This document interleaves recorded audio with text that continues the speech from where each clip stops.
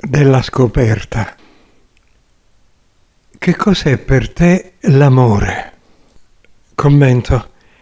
È il momento della scoperta in me di un nuovo essere.